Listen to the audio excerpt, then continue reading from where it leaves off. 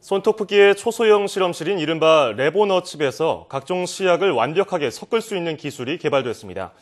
서강대 박정열, 김대중 교수팀은 3차원 소용돌이를 활용해서 100만 분의 1리터 수준의 아주 적은 양의 샘플과 시약을 빠르게 혼합할 수 있는 마이크로 믹서를 개발했다고 밝혔습니다. 각종 분석을 진행하는 레보너칩이 효과적으로 작동하기 위해서는 샘플과 시약의 빠른 혼합이 중요한데 그동안 마이크로 수준에서는 두 물질의 점성으로 인해 잘 섞이지 않는 한계가 있었습니다.